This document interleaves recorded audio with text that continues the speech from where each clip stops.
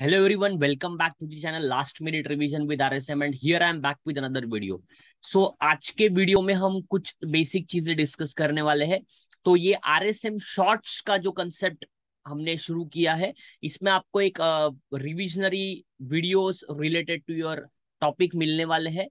तो आज के पॉइंट में हम इंटरनल रिकंस्ट्रक्शन के जो बेसिक चीज़ें हैं जो आपको ध्यान रखने हैं इस टॉपिक में से उसके बारे में डिस्कस करेंगे।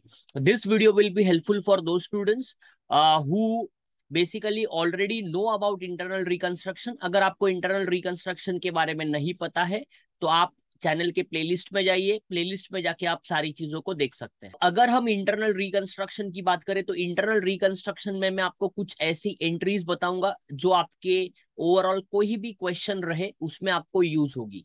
जैसे कि सबसे पहली एंट्री है reduction in the share capital तो शेयर कैपिटल में रिडक्शन होता है तब आपकी एंट्री जो है वो फिक्स होती है। uh, जैसे कि अगर हम इक्विटी की बात करें तो equity share capital account debit equity share capital account debit to equity share capital account to capital reduction account ये आपकी एंट्री फिक्स होती है कोई भी क्वेश्चन में आपकी यही एंट्री की जाएगी। Similarly for preference preferential capital account debit to preferential capital account to capital reduction account. तो ये एंट्री नॉर्मली आपके कोई भी क्वेश्चन होने दो, उसमें आपको ये एंट्री करनी पड़ेगी।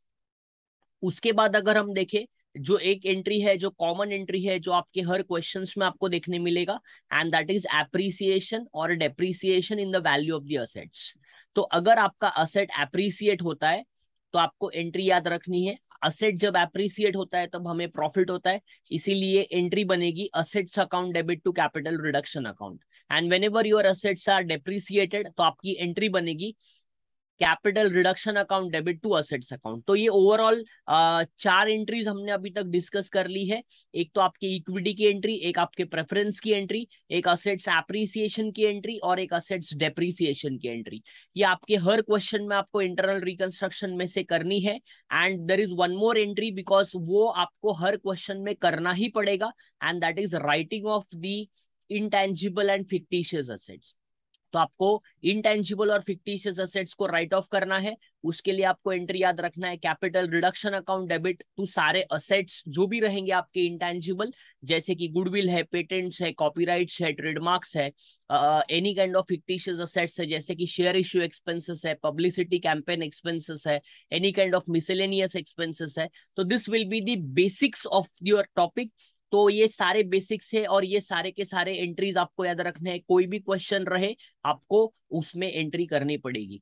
और अगर आप ये इंटरनल रिकंस्ट्रक्शन का डिटेल में वीडियो देखना चाहते हैं तो ऑलरेडी मैंने प्रिपेयर किया है प्लेलिस्ट में अवेलेबल है। These are just the short videos which can revise your concept of the topic तो आपको ये इनिशिएटिव कैसे लगा कमेंट सेक्शन में कमेंट करें और अगर अच्छा लगा है तो लाइक करके अपने फ्रेंड्स पे शेयर करें। नेक्स्ट कुछ कंसेप्ट के साथ मिलेंगे। Thank you very much